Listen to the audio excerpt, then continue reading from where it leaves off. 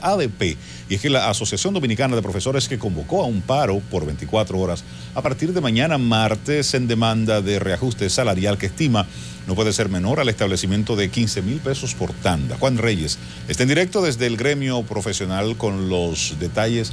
Adelante, Juan. Cuéntanos, ¿qué está pasando? Gracias, así es. La paralización de 24 horas convocada por la Asociación Dominicana de Profesores fue denominada paro de alerta en busca de llamar la atención de las autoridades del Ministerio de Educación sobre sus reclamos de aumento salarial.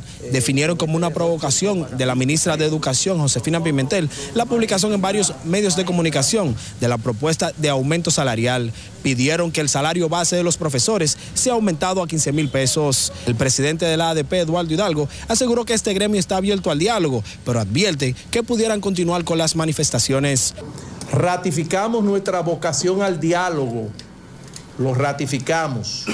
Igual hacemos un llamado, un llamado al señor presidente de la República para que él tome el caso de la demanda de los maestros y las maestras en sus manos, ya que no hemos podido encontrar una respuesta adecuada a esta demanda en las autoridades del Ministerio de Educación. El paro de 24 horas convocado por la ADP se sentirá en 12 mil centros educativos y anuncian para el próximo domingo una actividad en el Parque Independencia.